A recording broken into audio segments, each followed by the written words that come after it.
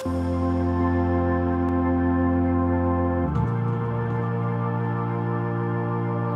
Hope is a ministry that ministers to women that are in the adult entertainment industry. And our mission is to share the hope and love of Jesus with them.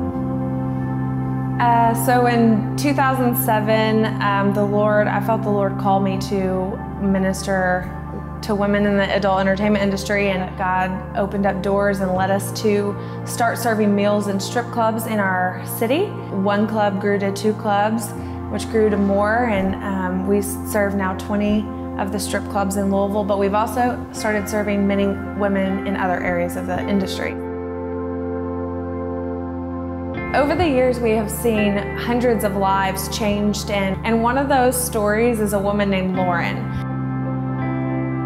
We meet her when she ends up at uh, Nicole's place, and they call us and say she's there's a 17 year old girl that's in an abusive relationship and she's a prostitute and she needs help. And they they referred her to us and Courtney and I instantly met with her and started walking alongside her inviting her to Bible study caring for some of her basic needs and quickly realizing that this is all that Lauren knew this wasn't a choice that she had really made for herself but this was a choice long ago that was made for her I really felt the Lord calling me to minister directly to her and just disciple her.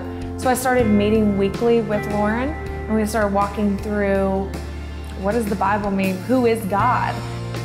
And we have just built a bond that has been so, um, she calls me mom. Um, I feel like she's my daughter in a way because she never really had that relationship with her family.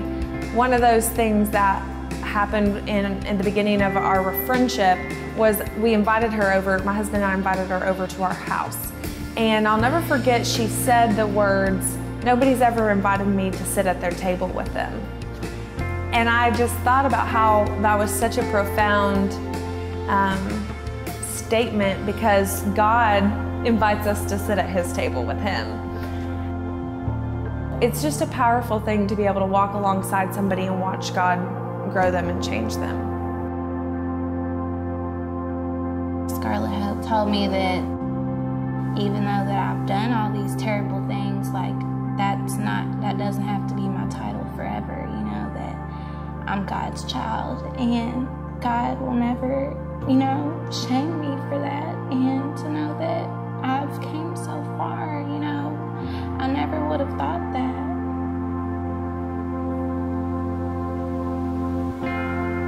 I mean, the Christmas message is all about God's gift of grace and mercy to us when we don't deserve it. That's the message that we share at Scarlet Hope is that Jesus came to save sinners like you and me, sharing in that great gift that God has given to us.